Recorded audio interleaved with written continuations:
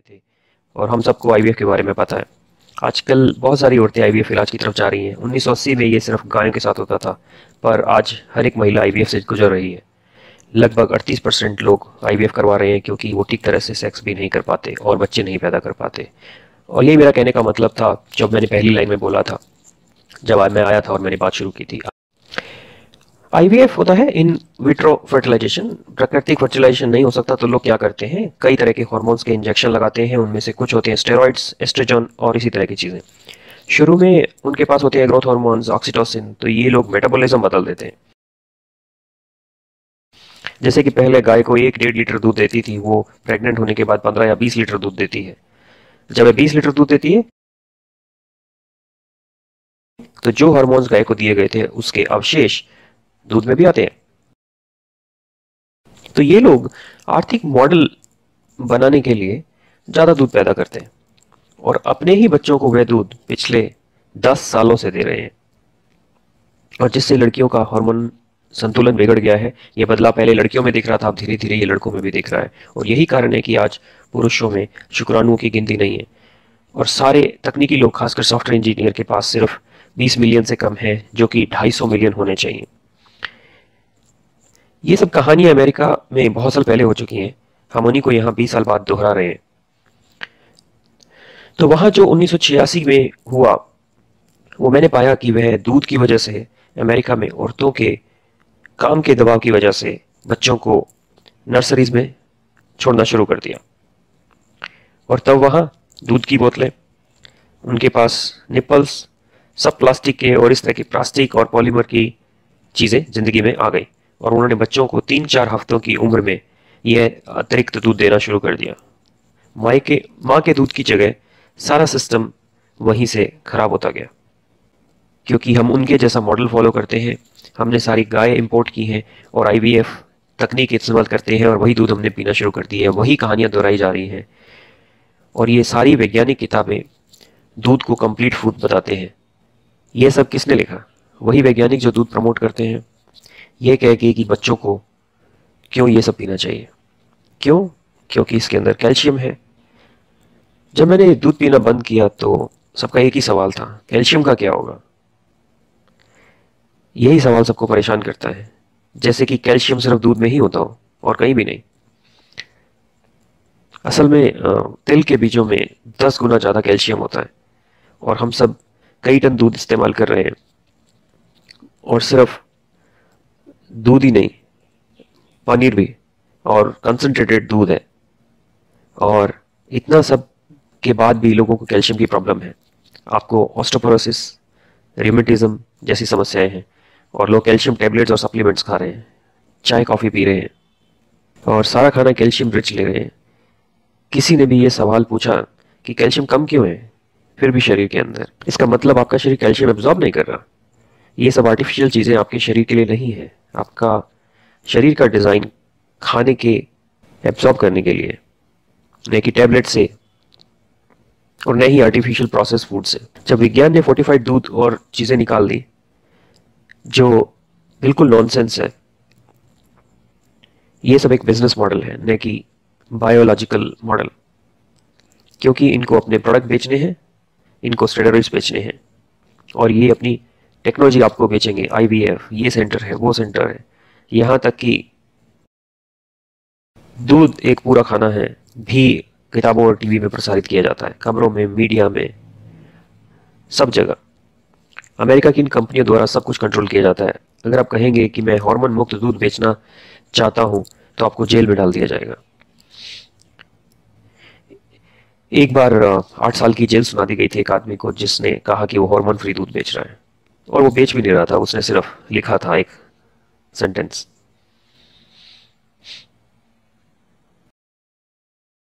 कहने का मतलब है कि सारी दुनिया दूध पी रही है। दूध है क्या? आइए इसे समझ लेते हैं। सही मायने में ये एक तरल पदार्थ है, जिसे स्तनधारी सीधा ही अपने बच्चों को देते हैं। इसका मतलब ये हुआ कि ये सबसे अस्थाई पदार्थ है, जो माँ के स्तन से सीधा बच्चों के मुँह में जाना चाहिए। बस यही है। इसके अलावा सब कुछ गलत है। तो इसका मतलब है, हम इंसानों को जब एक भी बूंद दूध की नहीं पीनी चाहिए थी, गाय का दूध क्यों नहीं पीना चाहिए? वो उसके बछड़े के लिए अच्छा है।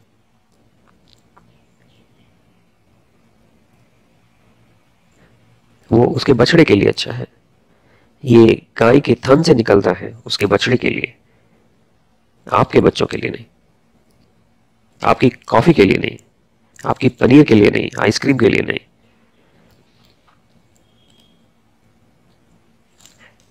आजकल औरतें अपने बाल साफ़ करवाती हैं।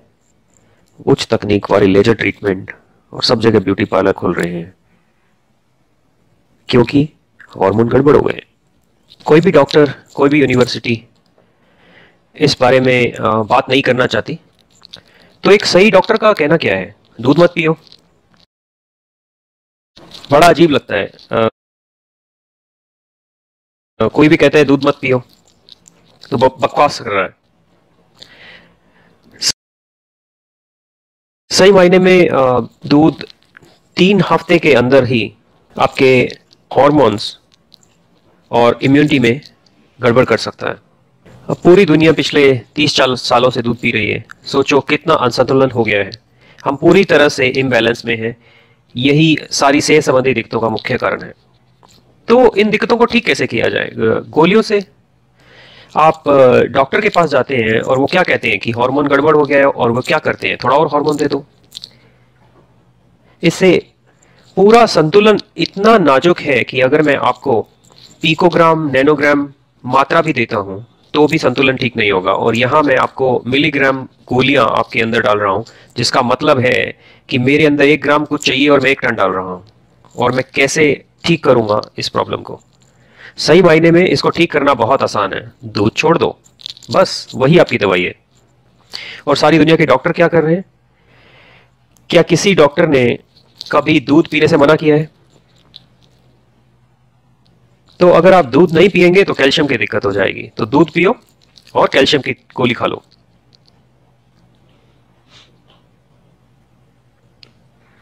यही हो रहा है। अमेरिका जैसे उन्नत देशों के ये साइंटिस्ट, डॉक्टर, उन्होंने सब कुछ सिखा सकाया, हम पर थोप दिया है। और ये विशेषज्ञ हैं। आप इन सब के चारों ओर घूमते हैं।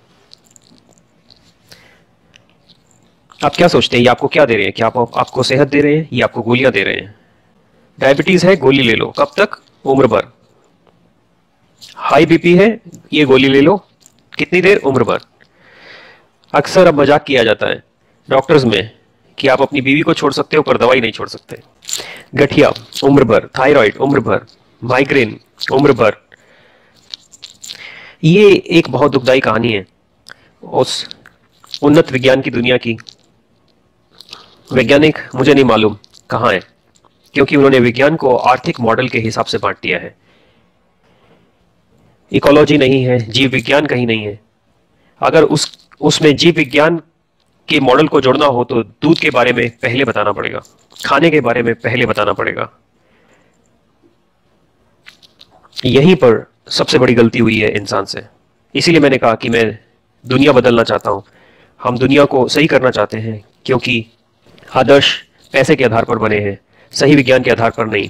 परंतु पश्चिमी दुनिया ने सभी को यह यकीन दिला दिया है कि वही सबसे उन्नत है विज्ञान में। क्योंकि उन्होंने आईफोन बना दिया, क्योंकि उन्होंने मिसाइल बना दिया, सिर्फ़ इसीलिए।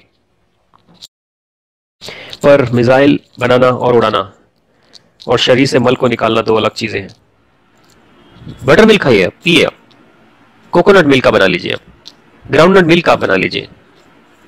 आप अमेरिका जाइए, उनको पाइन नट्स है, बहुत सारी। सब रोड पे फेंक रहे हैं, सब फेंक रहे हैं। और टनों के टन उनको बर्बाद कर रहे हैं। आप उत्तर में जाइए, मस्टर्ड है, बहुत ज़्यादा मस्टर्ड है। आप मस्टर्ड को सोक सोक कीजिए और उसको ग्राइंड कीजिए सुबह। दूध बन जाएगा थोड़ा सा कर्ड कर डालिए और जम जाएगा वो। नहीं तो आप हरी मिर्च लीजिए थोड़ा सा उसके अंदर डाल दीजिए और अगले दिन उसका दही बन जाएगा। और थोड़ा सा उसके अंदर पानी डालिए, शेक कीजिए। और बहुत अच्छे तरीके से उसको आप मिक्स कर लीजिए और एक गिलास पिए। आपकी बी की प्रॉब्लम खत्म। हफ़्ते में एक दो बार कीजिए। इतना बहुत है। तिल लीजिए आप। उसका आप दूध बनाइए। बहुत तरह के नट्स हैं जिनका आप बना सकते हैं। और ये सारी चीज़ें सारी जगह पे पूरी दुनिया में बहुत आसानी से उगाई जा सकती हैं। अभी जितने भी तटवर्ती इलाके हैं समुद्र के साथ लगने वाले इलाके हैं, वहाँ पर इतने ज़्यादा कोकोनट होते हैं, नारियल होते हैं, कि आप पाँच लीटर दूध बना सकते हैं एक नारियल से। और अगर आप उसका दही बना लें तो उसमें आप उसका 20 लीटर लस्सी बना सकते हैं। और ये बहुत ज़्यादा है, तीस चाल, चालीस लोगों के लिए वो बहुत है। तो ये इतना आसान तरीका है। और कितना इकोलॉजिकल है, आप देख, देखिए। और मुझे हैरानी होती है कि कोई साइंटिस्ट टीवी पे ये क्यों नहीं कह सकता कि ये जाइए और ये कर लीजिए। Folic acid. ओ अच्छा प्रेग्नेंट है फॉलिक एसिड चाहिए आपको। फटाफट दवाइयाँ लीजिए गोलियाँ लीजिए। बीट रूट को अगर आप दो पीस में काटें और अपने मुँह में रखें और उसको बाइट करें और मैं आपको बहुत आसान करना चाह रहा हूँ इस चीज़ को आप सिर्फ़ दो बाइट लीजिए और अगर आपको बीट रूट पसंद नहीं है चुकंदर पसंद नहीं है फेंक दीजिए आप, गाजर लीजिए उसका जूस बनाइए और पी लीजिए। और ऐसी बहुत सारी आपके पास चॉइसेस उपलब्ध हैं जिससे आपको आपकी कमी पूरी हो सकती है। हरी सब्ज़ियाँ उपलब्ध हैं। आप उनको उनको खाइए। पर हम करना नहीं चाहते वो चीज़। बहुत सारी चीज़ों से आपको फॉलिक एसिड मिल जाता है, पर मुझे समझ में नहीं आता डॉक्टर और साइंटिस्ट करना क्या चाहते हैं। सिर्फ़ उनको एक चीज़ कह बोलनी है कि टीवी पर जाके बोल दीजिए कि प्रेग्नेंट है तो आप बीट रूट खा लीजिए। बस। आप आंध्रा से गोंगोरा खाते हैं, गोंगोरा खा लीजिए हफ़्ते में एक बार। बस। आपका फॉलिक एसिड की कमी पूरी हो गई। पर हम कर क्या रहे हैं? फोलिक एसिड नहीं है। ओ विटामिन डी नहीं है। ओ ये नहीं है, वो नहीं है। और हम सप्लीमेंट्स के सप्लीमेंट्स लेते जा रहे हैं। और उसे होता क्या है? सप्लीमेंट बिज़नेस इतना बड़ा हो गया है बिलियन डॉलर बिज़नेस बन गया है। और हमारे बच्चे होने लगे हैं जिनको की अटेंशन डेफिसिट की प्रॉब्लम होने लगी है। और इतना ज़्यादा लीटर के लीटर आपने दूध पी लिया है, और आपको हार्मोन इम्बेलेंस की प्रॉब्लम होनी शुरू हो गई है। और यही सबसे बड़ी प्रॉब्लम है। कैसे ये सारी चीज़ों को आपस में मिक्सअप कर दिया है, विज्ञान को पूरा का पूरा बदल दिया है तोड़ मड़ो दिया है।